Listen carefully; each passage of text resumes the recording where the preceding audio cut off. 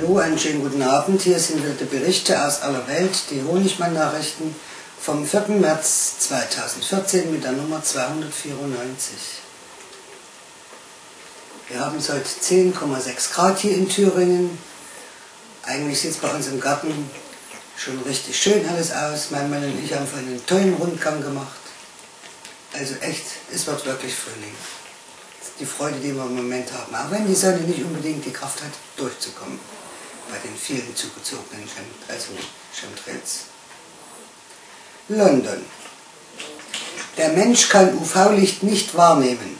Die Linse im Auge filtert diesen kurzwelligen Bereich des sichtbaren Lichts größtenteils heraus. Bislang ging man davon aus, dass Ähnliches für die meisten Säugetiere gilt, abgesehen von wenigen Ausnahmen manchen Nagern, manchen Beutetieren. Tatsächlich dürften jedoch viel mehr Säuger in der Lage sein, auch Licht im ultravioletten Bereich des Spektrums wahrzunehmen. Das berichteten zwei britische Forscher nach der Untersuchung der Augen einer Reihe verschiedener Säugetiere. Wie sie im Fachblatt Proceedings of the Royal Society B oder Biological Science schrieben, können etwa Katzen, Hunde, Igel UV-Licht sehen. Wir testeten bei den Linsen von 38 Säugetierarten aus 25 Familien in neun Ordnungen die Durchlässigkeit von Licht verschiedener Wellenlängen. Schrieben Ron Douglas von der City University London of Glen Chevery vom University College London informierte wissenschaft-aktuell.de Welt Der langlebige Sonnenfleck AR 1967 der am 25. Februar mit einem X4,9 Class Flare ausgebrochen war, stärkster Flare 2014, einer der stärksten des aktuellen Sonnenzyklus, traf am 27. Februar das Erdmagnetfeld. Er löste einen schwachen geomagnetischen Sturm aus, also nicht mehr als ein Streifschuss, meinte Zeitenwende.blogspot.co.at Deutschland Welt nach fünf relativ kalten, teilweise sehr schneereichen Wintern durften wir uns diesmal über einen milden Winter freuen. In Westdeutschland nahezu schneefrei. Nur Nordostdeutschland hatte Ende Januar unter einer knapp zweiwöchigen Kältewelle mit Schnee zu leiden. Dass dieser insgesamt sehr milde Winter kein Menetegel einer katastrophalen Erderwärmung sein konnte, zeigt ein Blick in andere Regionen. Zuerst schneite es im Dezember im Nahen Osten, sogar in Kairo. Danach wurde Nordamerika von einer Serie äußerst heftiger Kältewellen geplagt und schließlich versanken zur Monatswende Januar-Februar Norditalien, Teile der Alpen, Südostpolen sowie im Februar dann auch noch Japan, Madeira in den Schneemassen. In Slowenien Anfang Februar gefrierender Regen fast im ganzen Land. Der meteorologische Winter, bestehend aus Dezember 2013, Januar und Februar 2014, erreichte ein Deutschlandmittel von 3,3 Grad plus.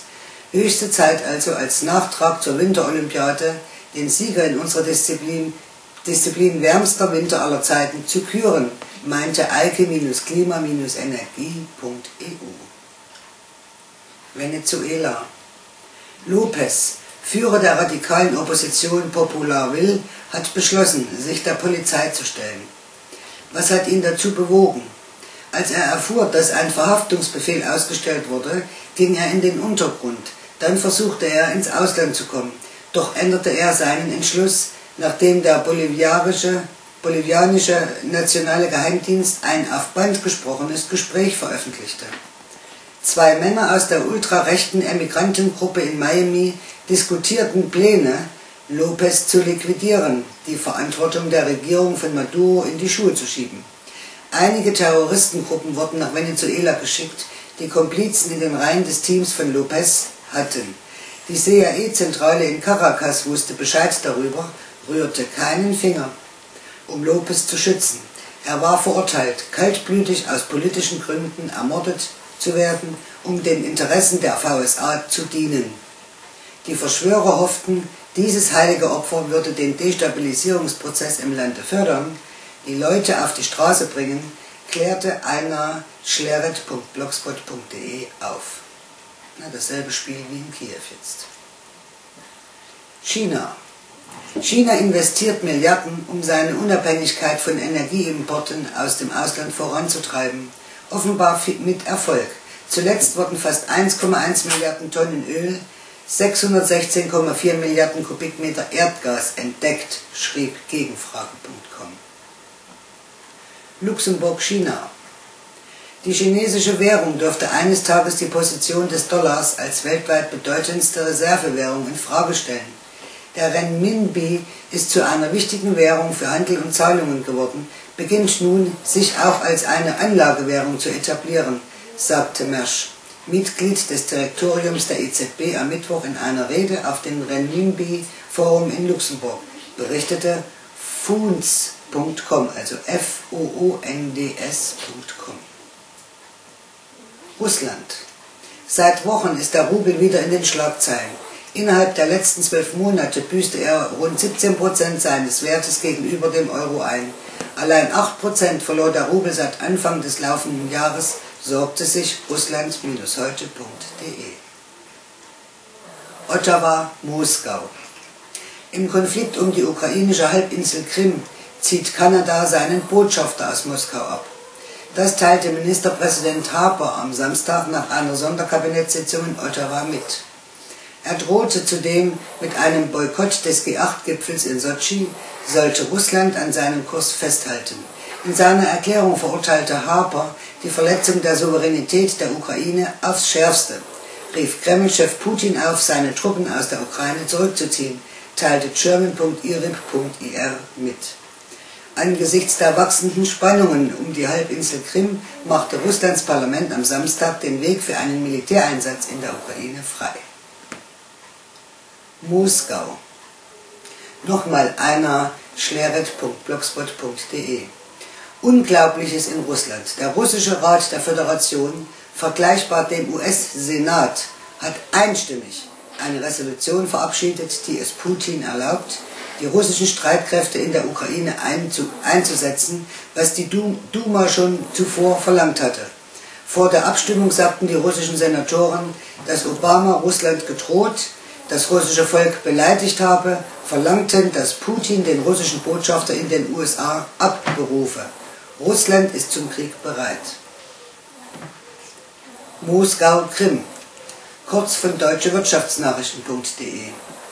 Die russische Schwarzmeerflotte dementierte ein Ultimatum an die Ukraine, demzufolge die Ukraine bis Dienstag 4 Uhr die Waffen niederlegen müsse. Washington. Nochmal deutschewirtschaftsnachrichten.de. US-Außenminister Kerry hat Moskau wegen der Truppenverschiebungen auf der Krim gedroht. Man werde Russland wirtschaftlich isolieren. Jetzt ist meine Katze im Mülleimer gerutscht, der schläft zu gern. Isolieren, Einreiseverbote verhängen. Zudem überlegen sich die VSA, russische Guthaben einzufrieren.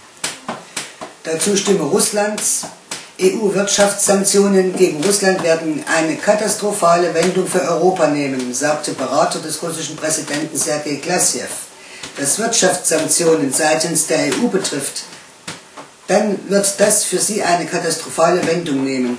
Da die Einstellung der Gaslieferung aus Russland in absehbarer Zukunft nicht ausgeglichen werden kann, werden Preise für Energieträger in Europa wachsen, sagte Glasjew. Die USA drängen, drängen mit Absicht, die EU zu sanktionieren, weil sie davon profitieren wollen, sagte Glasjew. Ukraine-NATO.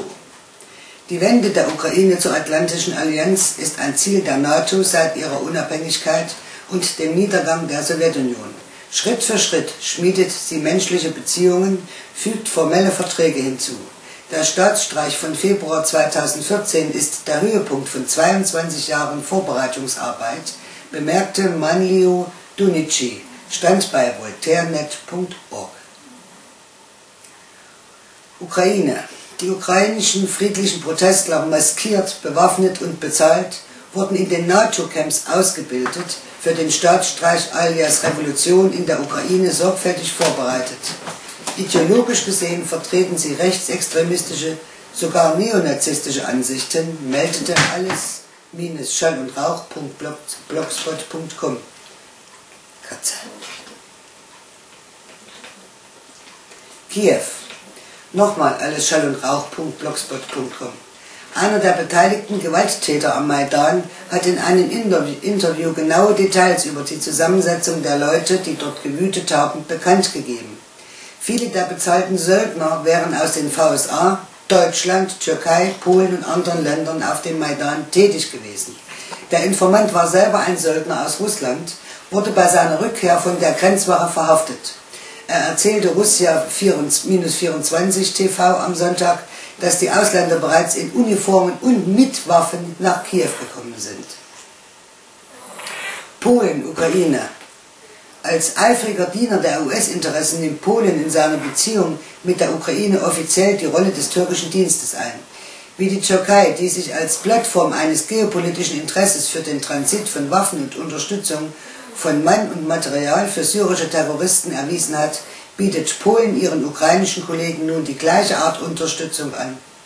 Der polnische Premier Tusk sagte am 22. Februar 2014, sein Land gebe bereits Fürsorge für verwundete Aufständische aus Kiew, Unterstützung durch Bereitstellung von Krankenhäusern. Der stellvertretende Gesundheitsminister Warschaus hat die Kontakte mit den Rebellen in Kiew bestätigt, um die Betreuung ukrainischer Verwundeter, Verwundeter zu organisieren. Daraus folgt, dass Polen in der Tat seinen Bereich bis zu fast 500 Kilometer ins Innere der Ukraine erweitert hat, auf dem es seinen Einfluss auszuüben beabsichtigt, sowohl durch unterirdisches Handeln als auch durch Diplomatie. In der Ukraine begnügen sich die polnischen Geheimdienste eindeutig nicht nur, um die Verwundeten zu unterstützen, schnaubte natfandare.blogspot.se. EU Dass die EU derzeit in der Volksmeinung an die Wand gefahren wird, zeigt die überall stärker werdende Ablehnung der EU im Volk. Pure Absicht, denn nach dem Euro-Untergang, der der Masse die Ersparnisse wegnehmen wird, braucht man die EU als Sündenbock. Genauso wie die EU-gläubigen nationalen Politiker war mmnews.de klar. Europawahl. Die Europawahl steht vor der Tür, die Angst der etablierten Parteien vor der immer stärker wachsenden EU- und Euro-Verdrossenheit der Wähler hat ihren Höhepunkt erreicht. Ja, bis jetzt sind sie nicht gewählt, das ist das Schlimme. Es geht also um alles. Gerade deshalb werden wichtige Fakten zur bisherigen Europapolitik verschwiegen, den Bürgern bewusst vorenthalten, kritisierte german.ruvr.ru. Österreich. Ein Bürgerverein plant eine Sammelklage gegen Österreichs Banken. Danach beruhen alle Kreditgeschäfte auf Betrug. Während die Bürger für einen Kredit Sicherheiten hinterlegen müssen, schafft die Bank das Geld aus dem Nichts. Ein Verein aus Österreich plant eine Sammelklage gegen österreichische Banken. Ihrer Ansicht nach beruhen alle Kreditgeschäfte mit den Banken auf Betrug. Der Vortäuschung falscher Tatsachen übermittelte revealsetruth.net. Berlin. Die SPD will, dass alle Deutschen ihr Geld auf einem Girokonto aufbewahren. Die Aktion ist an sich problematisch, weil sie darauf abzielt, die Abschaffung des Bargelds voranzutreiben. In einer Zeit, in der sich jeder Deutsche überlegt, sein Konto von der Bank abzuziehen, ist die Aufforderung geradezu geschmacklos, meinte deutsche Mittelstandsnachrichten.de. Kansas City, Deutschland. Der an der Wirtschaftswissenschaftlichen Fakultät der University of Missouri, Kansas City lehrende Professor Hudson erklärte mit klaren Worten, dass die Wall Street für die über die Deutschen verhängten Geschichtslügen verantwortlich sei. Hudson Sie können in Deutschland nicht Geschichte lehren, wie sie war, ohne gefeuert zu werden. Die ganze Theorie der Schuldenpolitik wurde damals von der Wall Street entwickelt. Plötzlich gab man den Deutschen eine falsche Geschichte. Sehen Sie sich die deutschen Schulbücher an und die Propaganda der Banken. Monat für Monat, Jahr für Jahr. Bitte weiterlesen bei lupocativoblog.com.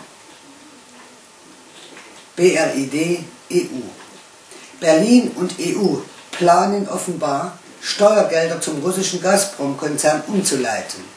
Ein Regierungssprecher sagte, der Westen könne die offenen Gasrechnungen der Ukraine bei Gazprom übernehmen.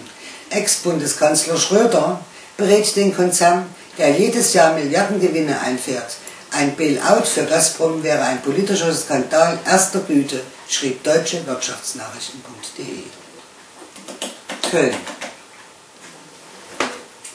die Erlaubnis für Genmais ist durch. Dabei hätte unsere Regierung das verhindern können. Nun redete eine SPD-Politikerin tatsächlich einmal Klartext. Die Politik weiß, die Deutschen wollen den Genfraß nicht. Bekannt ist, dass das für Mensch, Tier, Natur höchst gesundheitsschädigend ist. Wir nehmen die Bedenken der Bevölkerung nicht ernst, gab Frau Dobrinski-Weiß zu. Dann fragte die Moderatorin, ja, wer will denn den Genmais? Frau Dobrinski-Weiß antwortete, ich sage jetzt mal sehr deutlich, die Kanzlerin will den Genmais, die beiden anderen Ministerien, Frau Wanka und Herr Kröhe, wollen den Genmais, natürlich wollen den Genmais auch die Hersteller. Die Moderatorin, das heißt, die Politik beugt sich den Multis, genau so, Frau Dobrinski-Weiß atmete tief durch, eiert zwei Sekunden, weil sie genau weiß, was sie jetzt sagt, was das bedeutet. Sie kneift nicht. Würde ich sagen, ja. Schlussfrage der Moderatorin, ob denn die Regierung auf ganzer Linie versagt habe. Frau Dobrinski weiß, ja. Zitierte horusfalke.wordpress.com. Das Volk ist der Frau wirklich oder überhaupt diesen Firmen Parteien, Firmen, völlig egal. An dieser Stelle wird es wieder sehr deutlich. Brüssel. In Brüssel wurde Donnerstag für die gentechnisch veränderte Rapsorte GT73 die Erweiterung der Zulassung als Futter- und Lebensmittel ermöglicht.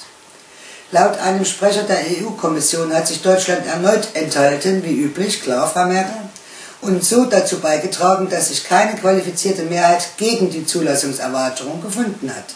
Mit grünem Licht für Gentechnik-Raps in Lebensmitteln ist seitens der EU-Kommission schon innerhalb der nächsten Tage zu rechnen, protestierte keine-gentechnik.de. Also Leute, wir müssen wirklich langsam umsteigen. Nichts, aber auch gar nichts mehr aus diesem Konsumverhalten kaufen oder irgendwo aus diesen Kaufhallen irgendwelchen Schrott noch holen.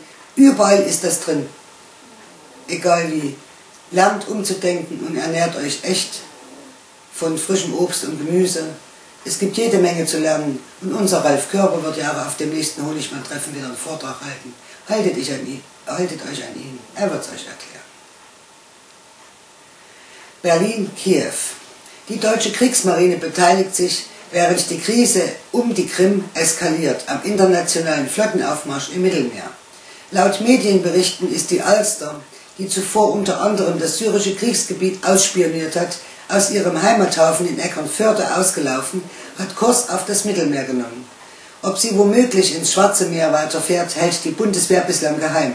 Im Mittelmeer sind bereits jetzt zwei deutsche Kriegsschiffe innerhalb eines NATO-Verbandes und zwei weitere im Rahmen von UNIFIL im Einsatz, teilte German-Foreign-Policy mit.